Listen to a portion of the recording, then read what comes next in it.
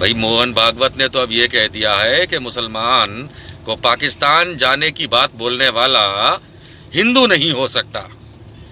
ये क्या तरकीब लगाई है? पैर पे कुल्हाड़ी मारी है, सर फोड़ा है। क्या किया क्या है इनने? क्योंकि आरएसएस की आइडियोलॉजी जो है, वो तो यही है कि मुसलमान को भारत से भगाओ। इस बात पे आज एक खास व्यक्ति से आप लोगों को मिलवाता हूँ। हाँ हाँ वही आपके प्रिय विनय दुबे। विनय दुबे जी, ये मुसलमान पाकिस्तान नहीं जाएगा तो कहाँ जाएगा? मोहन भागवत को क्या होगा वो? मुसलमान काहे पाकिस्तान जाएगा? सर, ये हिंदुस्तान उसका ही है जितना हमारा है।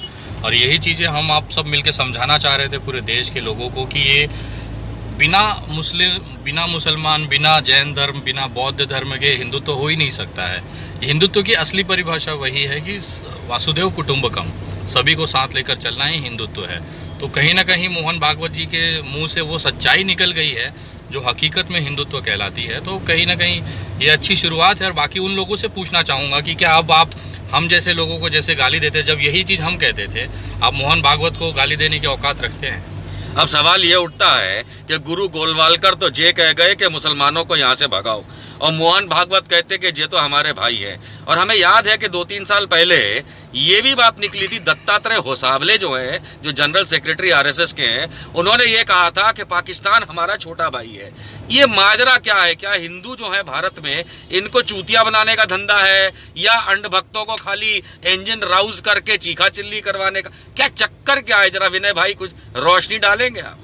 Sir actually Bharatiya Janata party का जो अमित शाह और नरेंद्र मोदी वाला जो अगर कोई हिंदुत्व तो फॉलो करता है तो मुझे लगता है वो देश का सबसे बड़ा चूतिया है। क्योंकि हिंदुत्व तो की अलग ही बात है, अलग ही परिभाषा जो इन्होंने कल कही, वो हकीकत एक्चुअल हिंदुत्व तो है। और रही बात, ये हमेशा से रहा है।